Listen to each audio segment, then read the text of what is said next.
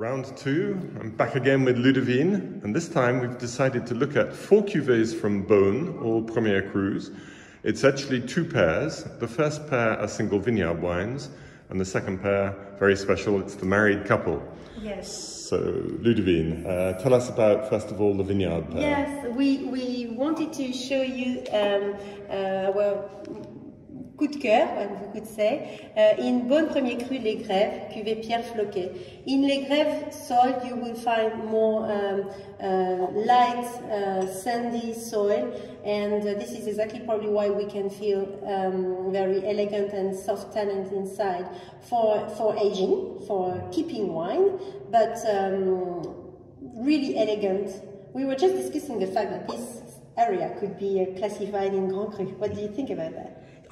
We maybe don't need to have more Grand Crus, but clearly it's Beaune's uh, number one vineyard. Yes, that, uh, I do agree. Has the special rating. Yeah, completely opposite of uh, Clos des Avaux.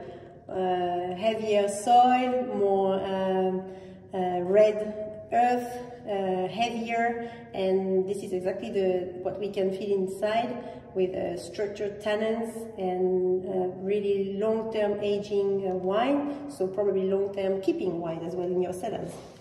Yes, yes, special emblematic wine for the Hospice. Mm -hmm. So next up, uh, Ludivine, we have the married couple who yes. founded the hospital. Here they are, the two of them. Absolutely. Yeah. So it's uh, Madame Guigone de Salins mm -hmm. and Monsieur Nicolas Rolin, the Chancellor. Yeah. What is your favorite one? Well, this year I may have a change, but uh, normally I'm very fond of the Guigone de Salins cuvée, which is uh, really so stylish and just beautifully poised.